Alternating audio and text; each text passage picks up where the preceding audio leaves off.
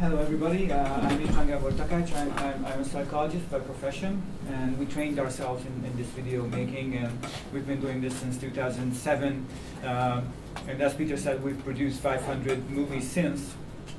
And uh, and I, ha I, I, have 20 minutes to, to talk about uh, the gear that we're using, uh, interviewing techniques, and framing and composition which is impossible. and, and uh, I always want to tell too much. So I have, I still have like 60 slides for 20 minutes. So uh, I, I, will jump through some of the slides, and if uh, maybe it will make you curious, and you will come to these trainings to know to know what the slide was about.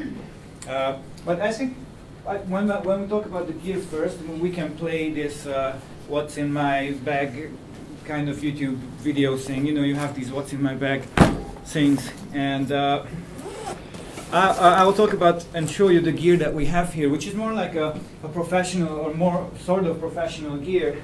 Uh, but we also, this is how it looks like when, when uh, I prepare for, to, to, to bring the stuff here. I, I, put everything down on the ground to check that we have everything. And at that time we had that, that big camera and it was very, it was very heavy and now we have a smaller one. But we also started with a consumer small camera, and you can also start with your iPhone and everything. That, that, that's what you're going to use now. And the most important thing is always the content and not the quality. But since this is what we work in, and this is what we do full time, we would like to do it as good looking as possible, but that's secondary uh, to the actual content. And we had this kind of camera, and it was very heavy, uh, and and and when and like the new fashion uh, in filming is to use these DSLRs because they make really good quality uh, uh, films. So you can you can get yourself such a camera, but it's also quite expensive. And uh, but it makes such a good such a good quality uh, movie with this nice bokeh. It's called bokeh. Those things, uh, the, the, the the lights, and also Obama is using these these cameras. So they are very they're very common. And the good thing is that the, those cameras have big sensor sizes, which makes the image better. Uh, I don't want to go more in, in, in, detail about that. But the problem with them is that they look like a Christmas tree if you put everything on them, and it's very heavy. Uh, so, so we are very lucky to have this kind of camera, and we, li we, we like it a lot. Uh, it's, it's like that DSLR, but it's a video camera, and uh, you can you can change your you can change your optics on it, so you can you can take them you can take them off and put them on and, and different optics will have different different image quality and texture to them and uh, they look they look even even better and more filmish. And uh, this handle is is, is an old uh, uh photo uh, flash handle and it's, it's good to grab the camera with it. And uh, yeah we're not talking about these the, yeah, so the, you can you can you can spend a whole lot of money on these lenses, and you, you develop a certain lens lust when, when you want to have a new lens and a new lens, and and uh, it's it, and then and then you suddenly find yourself uh, watching lenses on, uh, on your computer at night,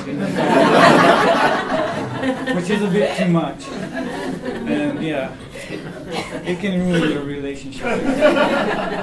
so you have. Uh, so we have, a, we, you, you bring a tripod with you, um, and you can see that tripod. try to go for a, a, small, a small tripod uh, or, a, a, lightweight tripod. What we do is that we go to these old photo stores where you can, where they sell these old photo uh, machines, and uh, and uh, and there, there, there you can grab these old ones, and they're lightweight and they're pretty good quality. Uh, but you can also have these big ones. Don't buy it because it's very heavy and you have to carry it around. Um, about microphones, uh, there are different types of microphones, and, and the, the, the, main point is that you have shotgun mics to put on your on your video camera, and you, then there you can you can uh, record the sound that is just in front of the camera. So that's that's what a shotgun mic is good for.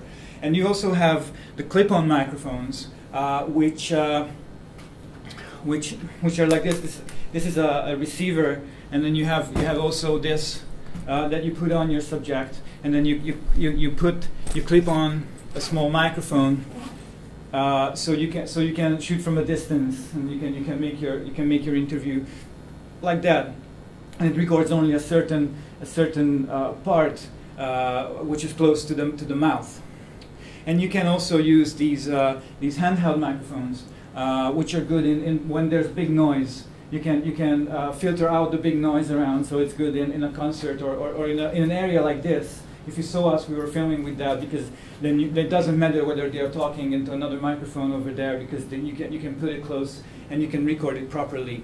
And it makes sense to put on windscreen if you're outside because then otherwise it, the wind will blow into the microphone. Uh, so that's a good tip to do. And what we what we always bring with ourselves uh, is here this recorder, which is recording right now. Um, the good thing about it is that you can put it out here and you, you record the, really decent sound. Uh, and you can also plug in uh, cords into it. Uh, and you can, you can bring three, three kinds of chords.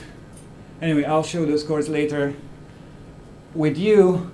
So you can, you can plug into the, to the, uh, to the, to the, to the machine these machines at these conferences so you can pick up the proper sound and you don't have to rely on your camera sound. So it makes sense to bring with you an external audio recorder. You also should bring batteries with you. Uh, of course. Uh, monitoring the sound is always very important, so bring earphones with you uh, because you never know whether the, the, phone is ringing in it or, or, or, or not. Um, so that's very important thing to do. Uh, if you're very rich, you can buy that kind of protector.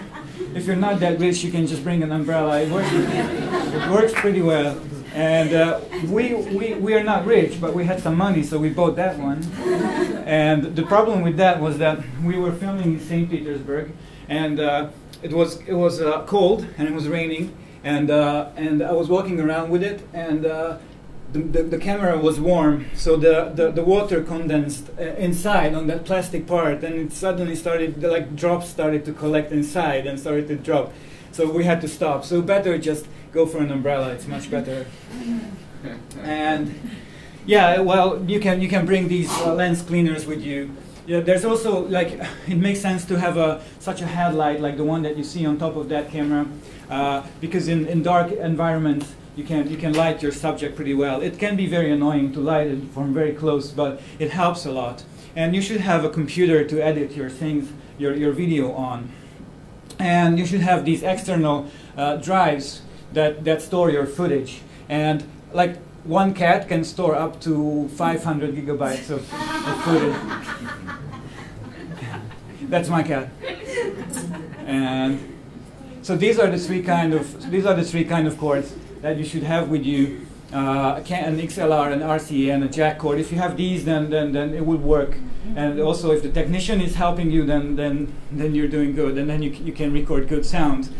Now, let's go to, sorry for being so fast, but I only have 20 minutes. Uh, let's go to framing and uh, composition. Uh, of course, in poor light, the, the quality of your video would be, will be worse, so you should try to light it properly.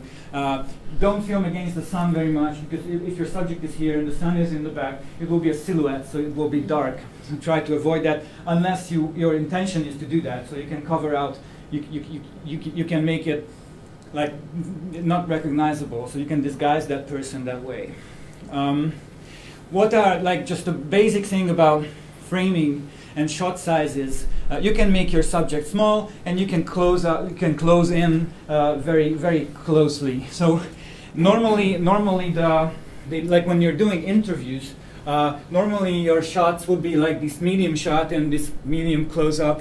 Uh, because that's that's what you're most used to, and that looks good. When when you're when you're when you're making an interview, you shouldn't go too close because th that would look weird, and it would be too intimate and too close. Uh, and, and also in editing, you will have trouble with that. Because when you're making a shot like this or like this, in the editing, you can always zoom in more. But if you do it like this, you can zoom into the eye, which would be, which would look, I mean, unless it's, you're, you're very artistic, it, it wouldn't look that good. and shot angles, you normally shoot from, from the eye level, so not, not from below or from, from above. Uh, that's the standard thing. Uh, if you want, if you may want to make, you know, a propaganda movie with someone very strong, then you film from from below. And if you want, want to look someone want to look down on someone, you can film from above. But normally, you try to set your camera to the eye level.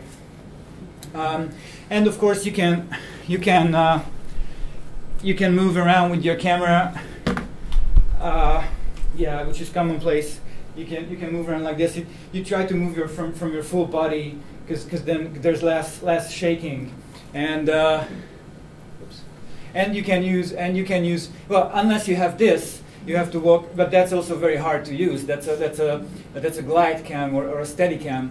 Uh, that, that makes it very stable. But if you, if, you bend, if you bend your knees a little bit and you move with it like, like this, then, then you, can, you can hold it pretty steady. It just requires a little bit of practice. It, it makes sense to bend your knees when you're moving because then, so then, then you can move like a tank. Mm. Uh, yeah. One good tip about, about uh, using the zoom is that you always want to set, you always want your subject to be in focus. So one, one good way to do that is to, if you have a zoom optic, to zoom in on, on, on, on, on something on the eye, set your focus, and then zoom back. And you can, you can be sure that you have proper focus. Because if you're just setting the focus here, maybe you don't see really the details. But if you zoom in a little bit, then you see the eye much more, and you can zoom out. So that's one very useful tip that, that we're using. Now, one, one important thing with composition is that there's something called the headroom, and that is the space uh, above the head. And uh, you have to be careful with it. This looks, he, he, looks really small if it's too big, and, and this doesn't look good if it's too small. So you should just get a sense of, of what kind, what how big headroom you would need, but it should be just a little a little headroom over there, but not too little and not too much. And as you're zooming in, then you're cutting cutting the head more and, and, and coming in. Uh, and uh, and there's a there are a couple of there's one thing that helps you a lot, which is called the rule of thirds. When you divide uh, you divide an image to three three equal parts. Uh, and, and put the important things on these lines or in the crossings that usually, usually that makes a, a, good composition. For example, here, uh, this woman, th this is this is the sea level, and for example, here, this couple is uh, is on is on this on this crossing. It, it makes it more harm, harmonic. Uh, it makes it, makes it look it look look nicer. For example, this image you don't really see, but this is the sea level, and and and you put the subject in here, so you don't put it to the center. Uh, and, normal, and, and, and often you put, uh, you put the eye of the person, uh, eye level on, on, on, that, on, that, on this, uh, this line. Um, so that if you keep this in mind, it helps you a lot. Also, there's something called lead room, which means that there's always, there's, there's always more space in front of the person in the direction where they're looking. And when there's a subject moving, there's also, you should put a little, little bit more space in front because that, that makes it natural. If, if she would be here, it would look weird and as if she's pushing the frame out. So, it's, so always leave more room in front of the person, the direction where they're talking to. And, all right, now you, you know like the basic things like lead room and head room and rule of thirds. That's, that's basically what you need to know about framing and composition, plus set the focus sharp by zooming in on something. Uh, and now you go to an interview uh, place where you try to find a you try to find a, a quiet and well lit place. Maybe you unplug the refrigerator because it's like I think it's a rule that if there's a refrigerator, it's silent, and when you start filming, then it will start to buzz. So maybe you should try to think about it. And you can also turn off the, the phone. We always forget to turn off the phone, but no, nowadays it doesn't really matter. But it can be a problem. And uh, yeah, when you're filming outside, it's always better lit. Yeah, this is very dark, but I can read it. Um, and we, we, with Peter, we're working in couples. So he's the one who's interviewing and relaxing the, the interviewee while I'm setting up the camera, and I'm the one who's, who's, recording, uh, who's recording. And uh, when there's too many people in the room, that can be, that can be uh, annoying. So the too many attention on that person can be too much. So it's better to be on our own, on the three of us, or maybe just, just, just few people. Uh, whether he's standing or sitting, it doesn't matter. You, you try to find a good place, a good composition, and maybe try to put a relevant background. Um, I don't know, a library for a librarian. Uh,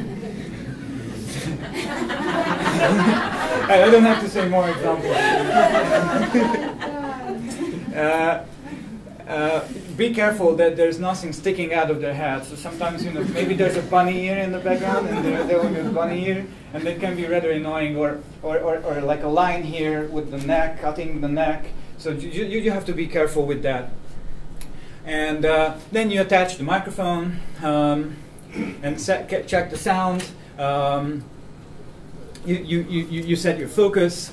Um, and you, norm, you, most of the time, you want the interviewee to look at to look at the reporter and not into the camera. You want them to look in the camera when it's a direct message to the audience. Otherwise, otherwise it, they, they, look into the look to the reporter, and uh, yeah, it's, it's, it's oh, normally it's better to make a wider shot, as I said before, than, than a very close shot because then you can use that later. Um, try to arrive in time, of course, for the interview. Um, we all, there's like you may want to ask for consent, on-camera consent, that they consent for this footage to be used, but we always forget it.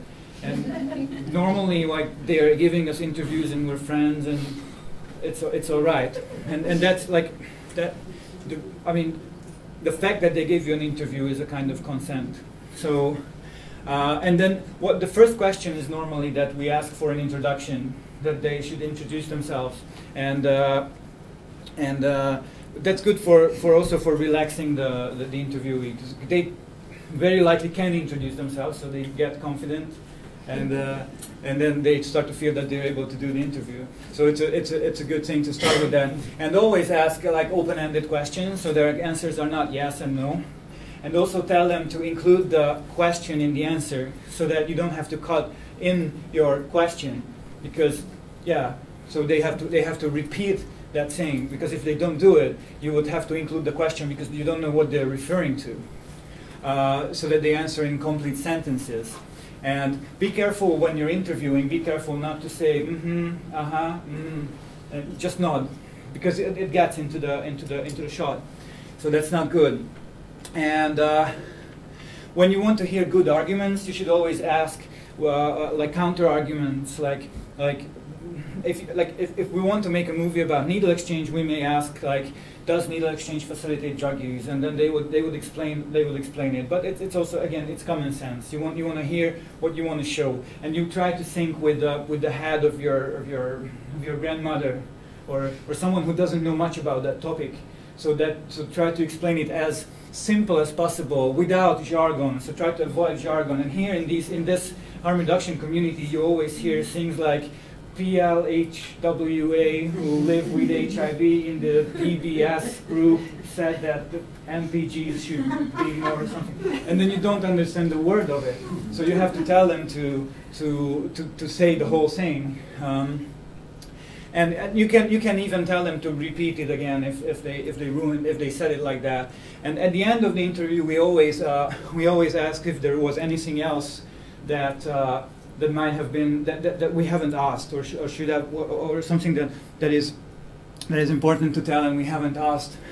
And uh, there are also other shot types. So this was the interview part and there are other shot types. Uh, one like the best thing in, in, in, in film sense is when you're recording action someone doing something with someone or something. Uh, for, and so that way we had the interview. For example, we have an interview uh, with the mother who is talking about her child, how much she loves the child, and then it's much better if you actually show the mother playing with the child and doing things with the child and interacting with the child as if it's happening, as if it's a movie. That tells much more than a, a simple interview when they're talking about it. So, but it's, it, it's of course harder. It takes more time to, to catch that moment, and it, it, requires more follow-up and more participation, more relaxation, um, and we can't always do that, but we can sometimes do it, and and that's that's always very good. And you can also make so so-called B-rolls, which are kind of shots that illustrate the thing that your subject is talking about. So when you're making an interview about the mother, then after the interview, you make shots about the child as the child is playing, or or, or if the child is not there, then you're making you're making shots of the of pictures of the child, and then you use that as an illustration of what they're talking about. So it's more interesting. You can also make B-rolls of the city. Like here at the conference, we went out and made some B-rolls of the city. And uh, yeah, pictures on the wall, a dog or something. That makes it interesting. Uh, that's the B-roll. We call it cutaway when you're making shots at, this, at the same time when the interview is happening. So you're showing the hand or the eye of that person. And you can also make uh, reaction shots, which is the reporter. So you, you, you, film the reporter reacting to the, to the uh, interviewee or, or, or, or, the audience looking at the, at the presenter, for example. And uh, basically, that, basically that was it about, about these three topics in like very quickly. Um, maybe you have some quick questions in this one and a half minutes that I still have. You're, you're over time. But go I'm over time. I'm kidding. Any questions? Okay, thank you very much. Then we go on to Matt, Matt Churchill.